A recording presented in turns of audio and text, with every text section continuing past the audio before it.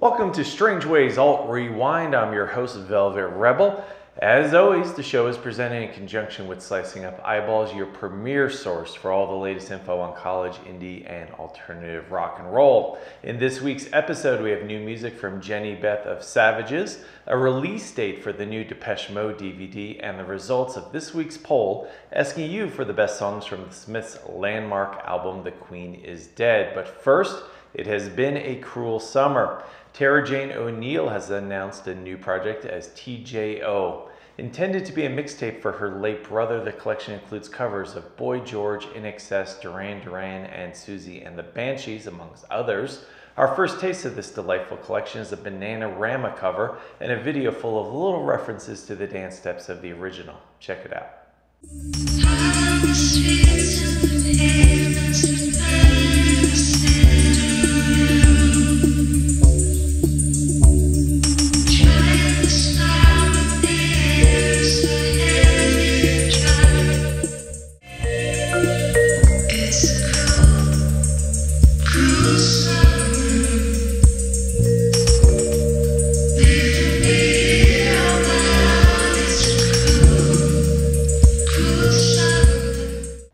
Want more? Well, Ziggy Stardust celebrated a birthday this weekend, so how about Cowboy Junkies covering five years? The song feels more prophetic than ever. If you love the band's gorgeous cover of Sweet Jane, get ready because this one is equally as good. Pushing through the market square, so many mothers sighing. Music just come over. Had five years left to crying. I think I saw you in an ice cream parlor, drinking milkshakes, cold long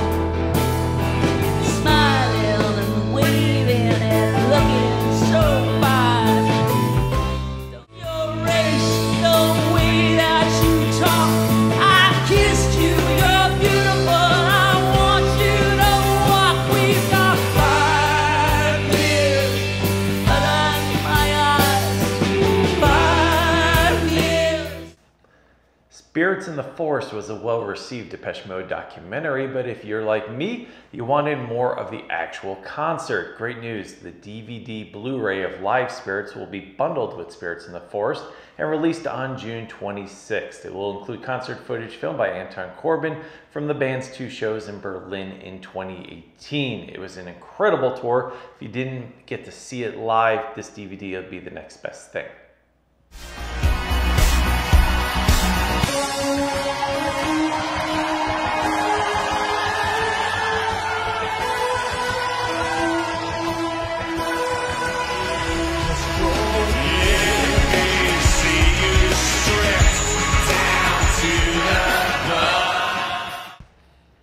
In new music, Jehnny Beth of Savages has released her solo debut to Love is to Live, and wow! Vegetable Cutters, this album is a monster. For fans of Savages, Beth has stepped outside the post punk template and created a work of art that transcends boundaries. From the Peaky Blinders anthem I'm the Man to the late night seduction of Flower, Beth challenges patriarchal notions of sex, religion, and gender. It's a tour de force of songwriting and performance. Producers Atticus Ross of Nine Inch Nails and Flood, who's worked with Depeche Mode, U2, so many more, lend their talents to the project, and the result is something special. Fans of PJ Harvey, this is definitely in your wheelhouse, so if you slept on Savages, time to jump in. Jehnny Beth is our new heroine.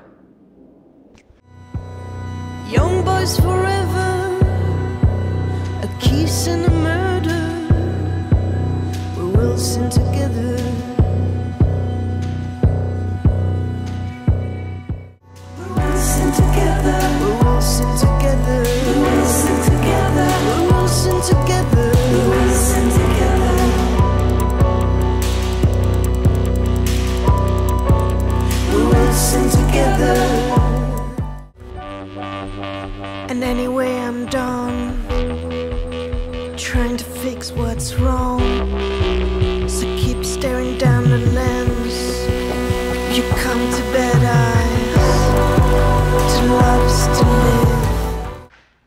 The Smiths, The Queen is Dead, came out this week in 1986, and we put the songs to the test this week in a new Strangeways poll. While Marr and Morrissey probably didn't celebrate the anniversary, we wanted to, and here are the top songs as voted by you.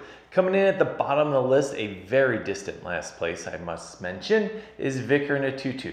Apologies to the one person who voted it as their favorite. Coming in at number nine, Never Had No One Ever. That speaks to how good the album is. If this is only number nine on the list, personally, I think it would have fit nicely on Viva Hate actually as a solo track for Morrissey. Number eight is Frankly Mr. Shankly. Seven, Some Girls Are Bigger Than Others. Number six, Cemetery Gates. Number five, the title track, The Queen is Dead. For me, the opening of this track defines the Smiths, and I am surprised it's stuck in the middle of the pack. But again, every song here is timeless. Number four, Big Mouth Strikes Again. Number three, The Boy with a Thorn in His Side. Number two, I Know It's Over. And number one, possibly the iconic anthem of the Smiths, if you will, There is a Light That Never Goes Out. Take me out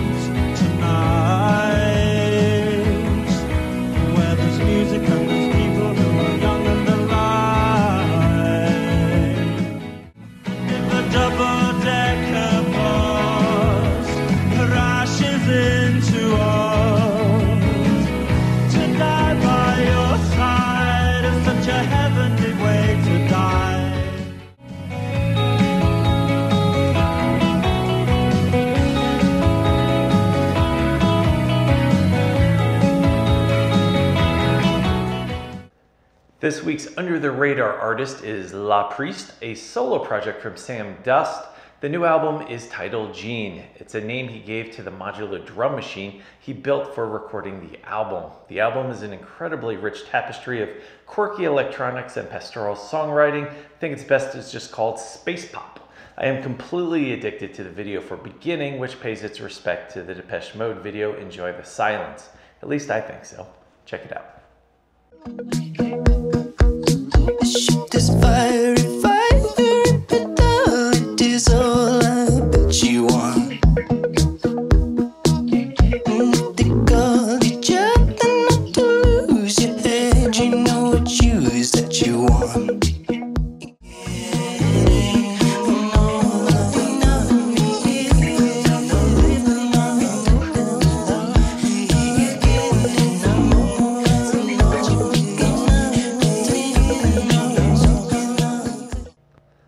Thanks again for tuning in to Alt Rewind. Be sure to check out strangewaysradio.com for links for more music news, videos, and music compilations, such as this week's one, Sculptured Hair from DJ Mikey. It's a modern synth pop compilation featuring artists like Empathy Test and Missing Persons. There's even a song titled, believe it or not, She Looks a Lot Like Martin Gore from 1984. Hey, that rhymes. Stay safe, wash your hands, wear a mask. We'll see you next week.